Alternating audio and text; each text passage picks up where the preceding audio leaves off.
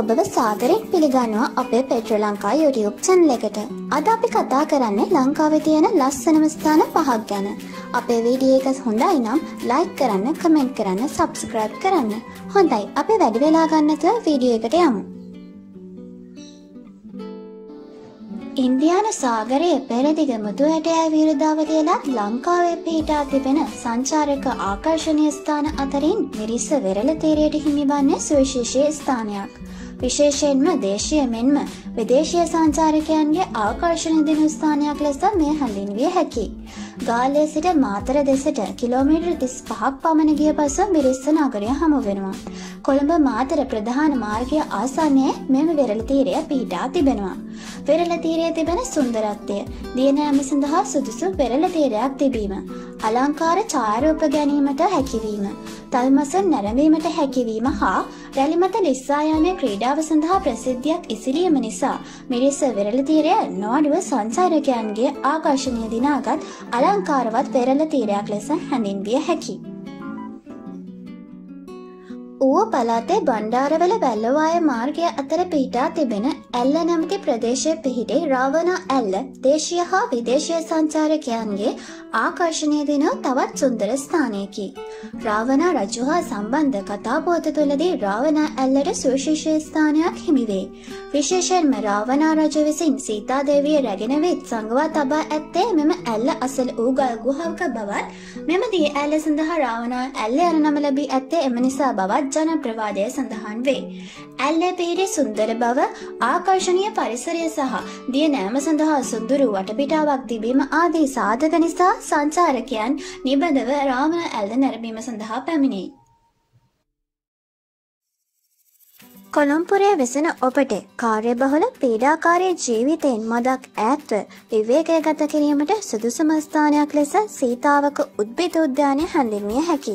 අවිස්සාවේල නගරයට කිලෝමීටර් දහයක් පමණ දුරින් ඉලොක්කෝවිට නැමති සුන්දර ගම්මානය තුළ සීතාවක උද්භිත උද්‍යානය පිහිටා තිබෙනවා. ලංකාවේ පළමුවන තෙත් කලාපිය උද්භිත උද්‍යානය වන මෙය අක්කර එකසිය හයක පමණ භූමි ප්‍රමාණයක පැතිරී තිබෙනවා.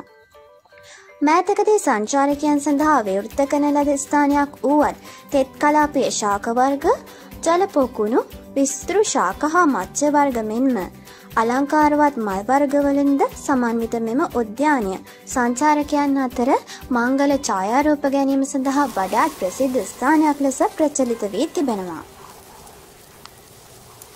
ශ්‍රී ලංකාවේ ඌව බලාතේ බඳුල්ල දිස්ත්‍රික්කයේ පිහිටා තිබෙන ඔහිය නිබඳව සංචාරකයන්ගේ ආකර්ශණය දෙනාගත් සුන්දර ස්ථානයකි. ඉතාමත් සුන්දර සීතල මීදුමින් පිරි පරිසරයකින් සමන්විත ඔහියද ශ්‍රී ලංකාවේ දේශය මෙන්ම විදේශය සංචාරකයන්ටද නැරඹිය හැකි සුදුසුම ස්ථානයක් ලෙස නම් කළ හැකි. නුවර මහියංගනය ප්‍රධාන පාරේ නුවර සිට මහියංගනය දෙසට කිලෝමීටර් හතලිස් තුනක් පමණ ගිය තැන මුණ ගැසෙන හුන්නස්කිරය නගරය නකුස් කඳුවලල්ලේ පිටතමායිමය පිහිටා තිබෙනවා. හුර්නස්කිරිය නගරෙන් මදක් ඔබ්බට වන්නට ප්‍රධාන මාර්ගෙන් බම් පසට හැරි ගමන් කරන නකස් රක්ෂිත පිවිසුම් මාර්ගයේ කිලෝමීටර් විසි නමයක් පමණ ගිය විට නකස්සා දුම්බර කඳු පන්ති මධ්‍යේ මින්මූරේ නැමති සුන්දර පිටිසර ගම්මානය පිහිටා තිබෙනවා. නකස් කඳු පන්ති අතරින් දිවෙන මීමුරේ පිවිසුම් මාර්ගය තෙත් කලාපිය කඳුකර වනාන්තර හා ත්‍රෘණ භූමි වලින් සමන්විත වන අතර. එක් පසකින් සුන්දර කඳු වැටි මෙන්ම අනෙක් පසින් හෙල්ද පිහිටා තිබෙනවා. කුඩා දොළ පහරවල් අලංකාරවත් දියහැලි තේවතු හා කුඩා ගම්මානවලින් සමන්විත වන මීමුරේ නිබඳව සංචාරක ආකර්ශණය දිනාගත් සුන්දර ස්ථානයක් ලෙස හැඳින්විය හැකි. අපි මෙම සංචාරක ස්ථාන නැරඹීමේදී සැලකේට ප්‍රධානම කාරණයක් වන්නේ එම ස්ථානවල ස්වභාවික සුන්දරත්වය විඳගෙනම් සංචාරක ආකර්ශණය ස්ථාන විනාශ නොකර ඒවා මතු පරම්පරාවේ උරිමය සඳහාද රැක ගැනීමයි. අප වීඩියෝ එක නැරඹපු ඔයාල හැමෝටම ස්තුතියි.